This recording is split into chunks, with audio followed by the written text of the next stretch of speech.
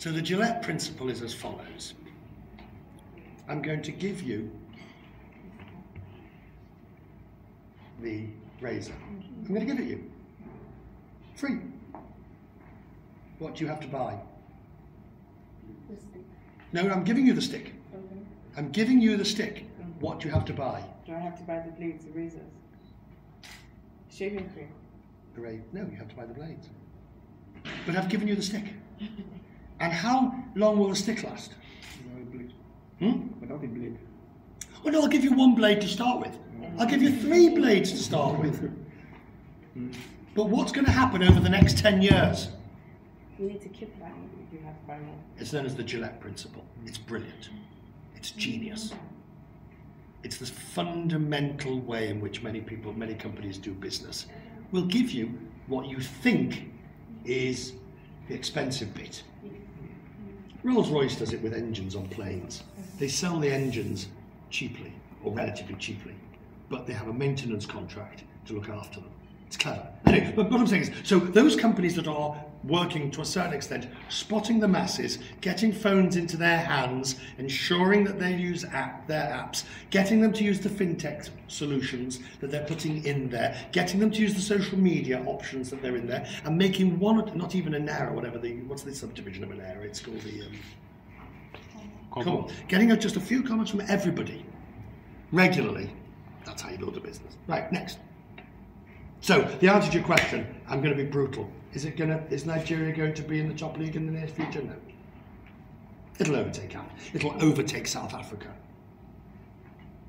Yeah, but that's just a product of size and oil price.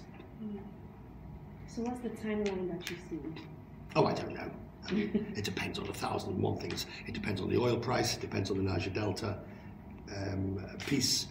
Uh, sec- sorry, The security. the security issue. It depends on the ability of the government to continue with its anti-corruption measures. It continue. It depends on all those sort of issues. I th- look. the one thing I've been most encouraged by while I've been here happened yesterday when I was at the radio station, the 98, Smooth 98, and when I was at Nigeria Info. I was meeting people of your age. Okay? I'm assuming that everybody around this table, with the exception of me, is under 40. I'm assuming that everybody around this table, with the exception of me, is under 30. You are all energetic, intelligent, educated, aggressive, lively, debatable. You know, you'll debate hard. Mm-hmm.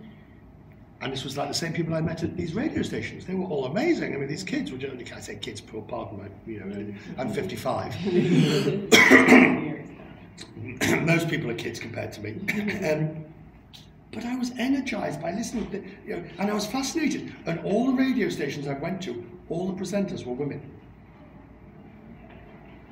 Asking hard, penetrating questions. That's the future of this country. The future of this country is not miserable old farts like me or people in their 50s.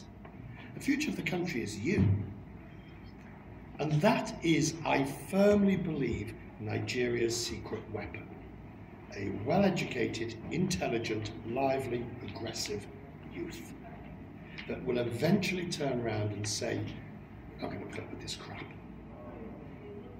You know, run your business honestly. Government, we expect you to do it properly. We want decent roads. It's going to take time. Okay, so we've had a rise in startups coming up from the tech sector in Nigeria currently, and we feel in the next couple of years they have what it takes to actually put Nigeria up there in global context. So, do you think that is actually possible? No. Why? Same reason. You're going to be, look, you're going to be a player. Okay. You're going to be a player when you get your act together. You see the difference here? If you, I could sit here now and I could tell you what you want to hear, right? I could sit here now and I could tell you Nigeria is going to be number one in this. And Nigeria is going to be a world leader in that. And Nigeria will do this and do that. And you'd all right go and you all go, hey, yeah, yeah, yeah, go Nigeria. Do you believe it? You will have a financial, you will have a tech sector in the same way that AfriOne is building a phone here. In the same way that uh, there is a thriving and growing fintech financial app sector that will appeal, but it's not going to be appealing to the middle classes, it's going to be appealing to the masses. Are you going to be the next Israel? Startup nation? No. You could be. You could be. But you can't be while you can't get a road that's going to get the product out of the country.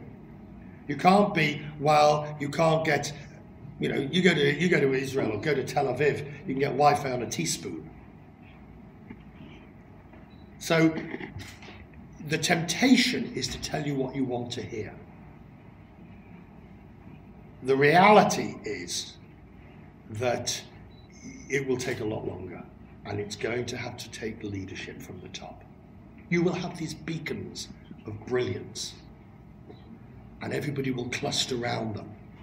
And you will have these, you know, you've got this computer, where, where, where am I going next? Uh, computer, Computer Village? right, Computer Village. You've, you've got Computer Village. But how big is Computer Village? It's really big. It's quite big. But what does it do? It's a hub for, you know, everything that has to do with um, Phones, phones, tabs, gadgets. Selling stuff. selling things. yeah. Right, but where is the centre for developers? Where you- you're always going to have places to buy the stuff. I mean, look, for God's sake, buying this hardware is the easy bit. Selling hardware is not difficult. Mm-hmm. That is not the Joel here. If you look at Israel, they call Israel the startup nation because Israel has created an entire industry for a thousand and one reasons related to security, to defense, to the Israeli defense forces, to the fact that they have everybody goes through the military. There's a thousand and one reasons why. We don't need to go into that. But Israel has, has become a world leader. A country of six million, seven million people has become a world leader in technology to the point where billions of dollars are being invested in Israel for the startup nation.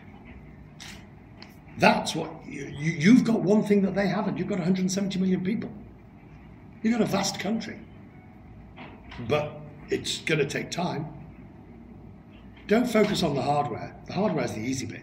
The hardware is this is the this is the nice shiny bit. It's the education for the code developers. And what you have, of course, in this country, which is brilliant, is the entrepreneurs. You've got entrepreneurs by the ton. Every one of you, I know, around this table has 15 ideas that you want to try and make a business about, correct?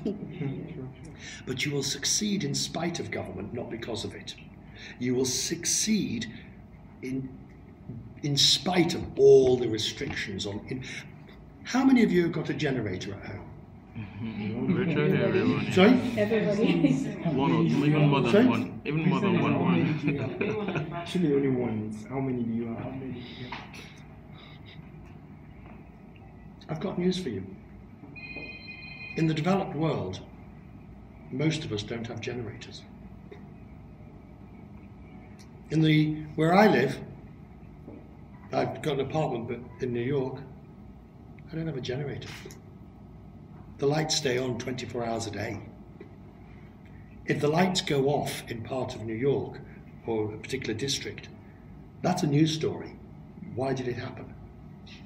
So, to your point, and this is really serious that you understand, you can become as obsessed as you like by these and computers and blogging and what's fashionable. But until you start asking questions, why do the lights go off? Why do we need generators where my mother has to spend, if you hard earned money to buy diesel so I can watch television in the evening? Hang on, you know, I don't think that happens. It's happening more in South Africa, but it doesn't happen in France or Sweden or Australia or South Korea. Those, those, the, those are the hard questions. They are the really tough questions, and they're not sexy. They're not, you know, what ties does Richard Quest wear? Is Richard Quest gay? What car do I drive? Where do I go on holiday? Hmm. Those aren't th- th- those. The hard questions that will determine the, que- the, the hard questions that will determine the future of this country are the ones that you asked. You know, what will it take so we have electricity 24 hours a day? What will it take so that there's a decent road to the airport so that goods and services can actually travel in and out? Not sexy. Oh, I know you're all sitting here thinking, you know, ooh, this all sounds a bit serious. But you asked me the question, when will Nigeria become a top country, economic country? And you asked me, Um, what will happen with the number of startups coming up from Nigeria? yeah, the number of startups will be here because there's 176 million, but will they thrive? They're going to need to thrive because they've got electricity. And they're going to thrive when they don't have to spend X hundred dollars or whatever it is, thousands of um, naira a month on diesel. That's the reality. Um, I think that, you know, this sounds good in theory because everybody wants to get to that uh, the point where we don't have to stop complaining about the basic things, but nobody is releasing the power to even the younger people. Oh, yeah, you do. Oh, you do. Oh, yes, you do. You have a lot of power. Oh, yes, you do. Do not fall for that old bromide. What difference can I make? I'm just one person. That's a load of crap. You don't do it individually, you do it collectively. It becomes a, you know, eventually through the power. Look, the significance of your power. When I started at your age, to get a message out, I needed me, I needed a camera, I needed an entire television station or a newspaper to print thousands upon tens of thousands of newspapers. I needed a transmitter, I needed people watching television. Now, all I need, all you need is, and something goes viral. The power of that is unbelievable. Unbelievable.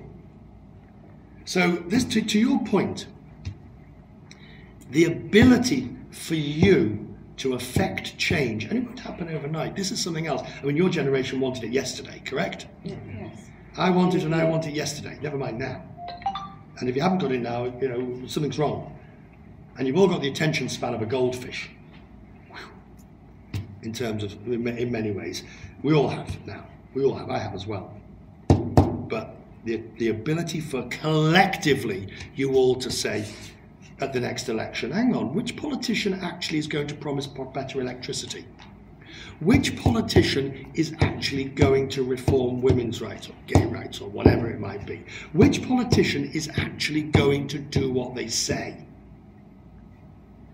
And it won't happen with, just with Pulse, and it won't happen just with your site, and it won't happen just with your program. But once you all start saying it, how many people read Pulse?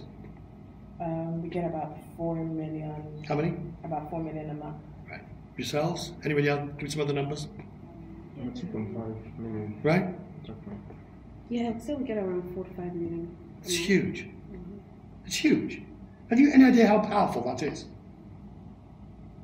You have got a main line into the younger generation of this country. You have more power and responsibility than you realise.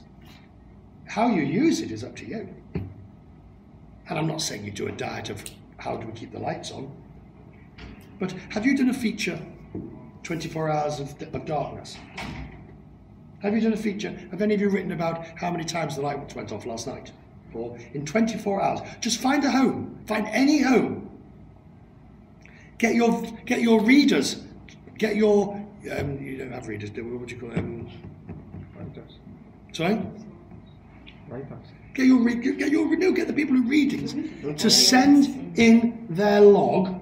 Ask all readers because you're across the country to to send in their log of how many times the lights went off in the last 24 hours. I mean, Richard, there are doctors performing surgery with under candlelight. Right.